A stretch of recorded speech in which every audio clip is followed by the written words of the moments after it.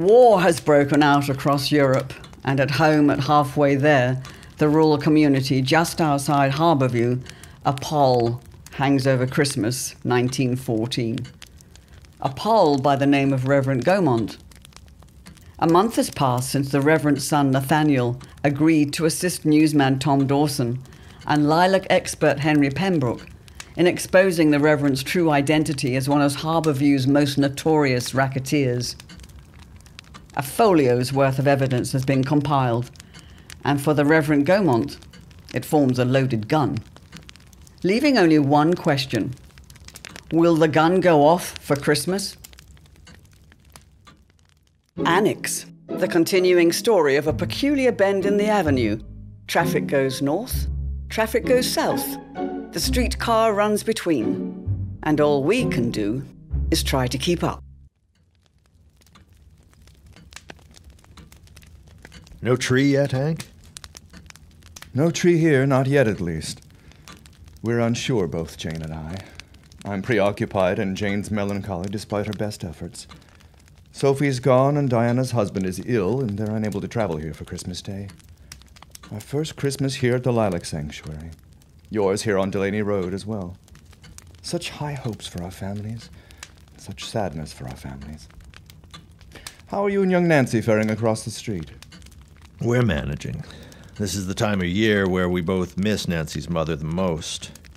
Elizabeth always worked so hard to make Christmas special for us. We need her the most this year. Nancy does, and so do I. Maybe best to let Christmas pass us by this year. Oh, what's this talk? Letting Christmas pass us by? Oh, shame on you, Henry Pembroke. We shall make Christmas if it takes the three of us, and Nancy too. Jane, darling, you seem rather hastily restored to action. You feel quite all right? Bosh! I remind you that when we were first married and we had nothing else to our name, we had one another. Hmm? We had one another and we had Christmas, and we'll have it this year too, all else aside. Merry Christmas, Jane. Yours is the winning spirit. Bless you, Jane Pembroke. Is that a tray of hot chocolate you bring now? Indeed, it is, with something extra to steel our nerves. It's the least that we can do. Make merry light together despite the dark. Oh, so many are in darkness this Christmas. So many young men. They could be our sons. And so many parents over there will lose their boys as we lost our child this year. I say a prayer for them. As do I. And I. Now, let's have updates on this investigation of yours. Come out with it. Where do things stand? I'm more aware of it. Let's not prevaricate. Update. Jane, Tom, and I, with Nathaniel Gaumont's invaluable assistance, have amassed quite the folio of evidence against the Reverend Gaumont and his numerous criminal activities. It's rather voluminous as the weeks unfurl. Mm, well, I'll have a look at it. We'll get it organised. It'll need to be gone through and made straight before we take it to the law. Jane, I'm not entirely sure. I am sure. And that decides it. I intend to be part of this mission after the old spiders persecuted my family and tried to drive us from our home and may very well have killed our daughter. It was this that was foretold by my premonition last spring. Jane, I swear to you that I have brought you to the safest place of which I know. This bend in the road holds only glad tidings for us. What I fear is no face, no name, no body. It simply is. I've lost one member of my family to this reverend's wrath, and I'll be damned if he takes another. Ah. So now Jane Pembroke has joined the mob forming against the Reverend Gaumont. She joins husband Henry, neighbour Tom Dawson, and Nathaniel Gaumont. Speaking of Nathaniel, he has returned home yet again to halfway there, bearing another surprise for his father, the Reverend. Last time it was lilacs. This time it's Lila.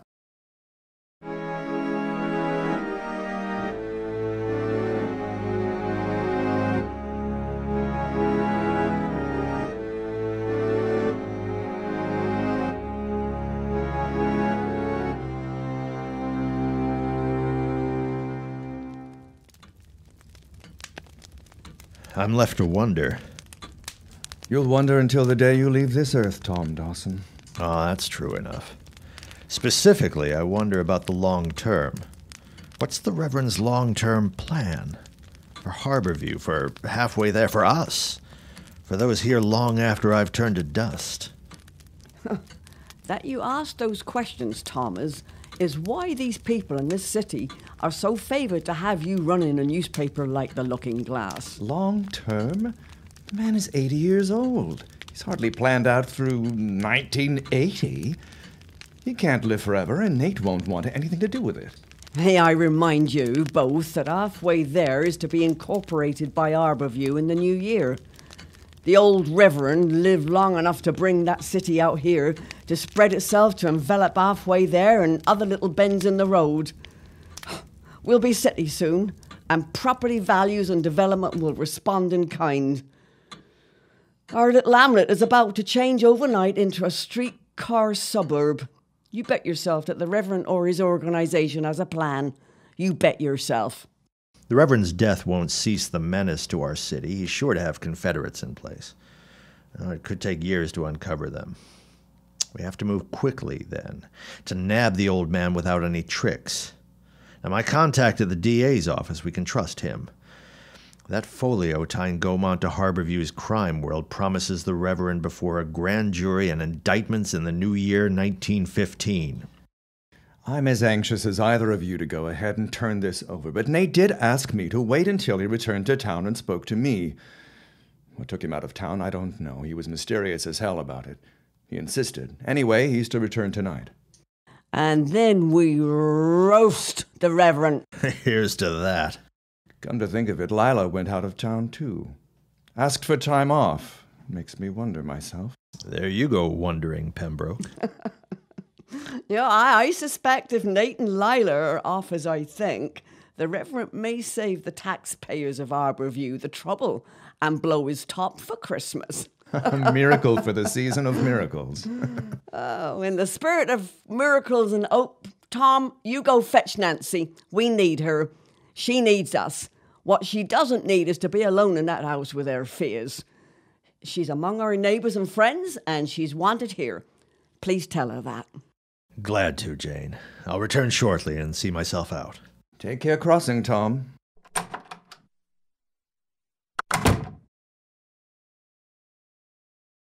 Time has come. Henry, you and I, before Tom and Nancy return.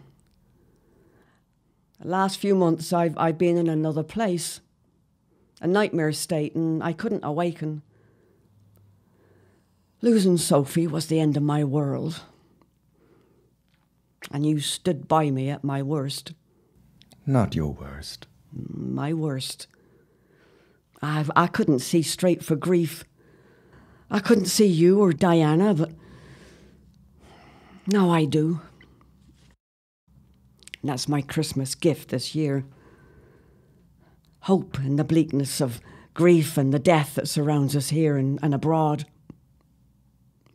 Hope is the embrace of life in all its mysteries. Hope for a strong lilac showing in 1915. Then we mean to stay, Jane. Here at halfway there. You stand by me, and I stand by you. For now, let's stand together with our neighbour and let's get the bastard that killed our daughter, Sophie. And God bless us, everyone.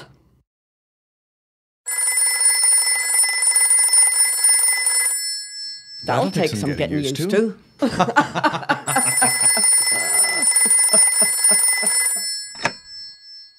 Pembroke residence? Ah, Nate, there you are. Will you be by tonight? Is everything quite all right? The doctor? I see. That sounds dire. How did it happen? Hmm. I understand. Nate, come by or use this contraption if you need anything from a friend and neighbor. A Merry Christmas and congratulations to you and Lila both. We'll have a celebration soon enough, and the rest. eh, We'll see how it develops and go from there. Indeed. Goodbye. So what's happened now, Henry? Well, that was Nate. He can't come see us this evening. Why not? What, what's wrong with him? He's married. He and Lila eloped yesterday. Oh, well, bless me. That is good news amid all the bad. When he and his bride arrived home, they encountered the Reverend, who had spent much time stoking his rage at his son, and when he learned that Lila Shore is now Lila Gaumont, well, the old man didn't take it well. Foul language, I'm sure. The worst. They argued. The Reverend insulted Lila. Nate defended his wife. They struggled. And... And Nate Gaumont killed his father in a struggle. No, but the Reverend had another attack and nearly died on the spot. The doctor is there now, and it looks unlikely for the old devil this time. oh, Tom won't like this. Don't mention it to him or in front of Nancy, not this evening at least. Tom will know soon enough. I'll break it to him. Henry? Could this be some sort of trick? Not likely. Not this time.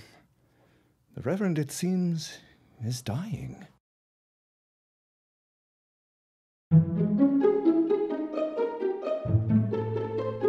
Who will rise to power? Who will be a widow?